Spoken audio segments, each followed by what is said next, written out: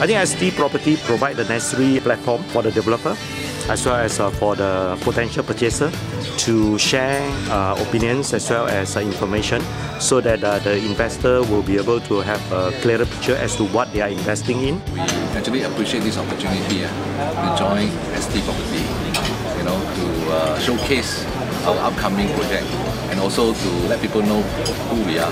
The developer's reputation is very important. Yeah, I think the ST Property Seminar uh, is a very good platform you know, for consumers to learn more about the property market in general. This is my first time attending ST Property. First, I find that um, the speakers give very informative, factual uh, information on Iskandar properties especially. The sharing on the currency, I think that is very good as well.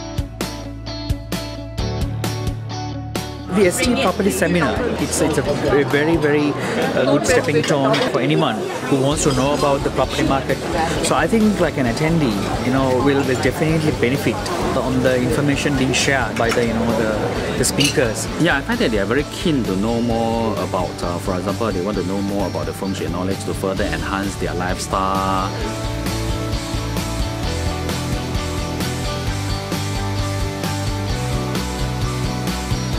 Japan and Australia are continuing to lead in terms of the property investment across Asia Pacific. At the same time, we are seeing the emerging markets like Vietnam, the Philippines and uh, India having a more outstanding economic growth in the next 10 years. So this will be some of the uh, hotspots emerging. I think this uh, property forum is uh, very timely.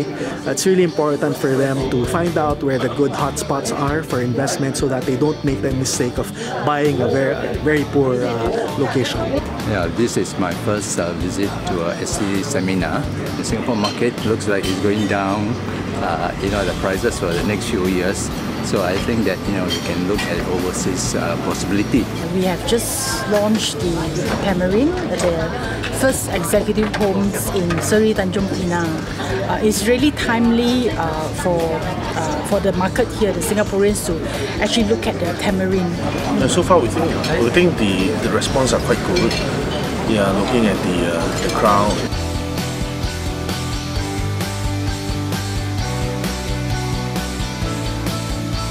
I found today's crowd at the ST Property Seminar very encouraging. Actually, turnout was encouraging and the questions they asked were very smart. Uh, I'm quite happy to see that lots of people are still engaged in uh, today's property market. And the audience are uh, very participative. They ask very good questions, and are trying to understand how the currency uh, fluctuations affect investments both uh, Singapore and abroad. I, I really think this is a great event from the ST Property. I'm surprised that the coverage of my section include Vietnam, Taiwan, Japan and down to Australia, so it's really a great event. It's good that you know consumers constantly you know update their market knowledge about such trends so they will be better prepared you know, for the future. Consumers need to be educated and educated regularly. And I think ST Property has done a very good job in that sense with this seminar series.